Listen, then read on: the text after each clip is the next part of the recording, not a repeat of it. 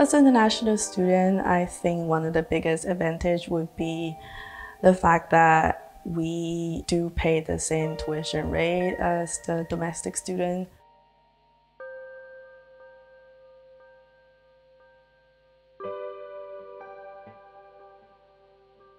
You know, as an international student, I think one of the biggest advantage would be the fact that we do pay the same tuition rate as the domestic student. By attending other programs, we usually pay um, three times or more tuition. I really like how SPAO stands out from other photography programs.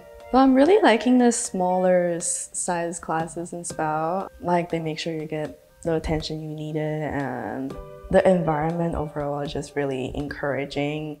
You know, my experience moving to Ottawa has been a lot easier than I thought it would be. And the art community itself has been um, pretty welcoming to me.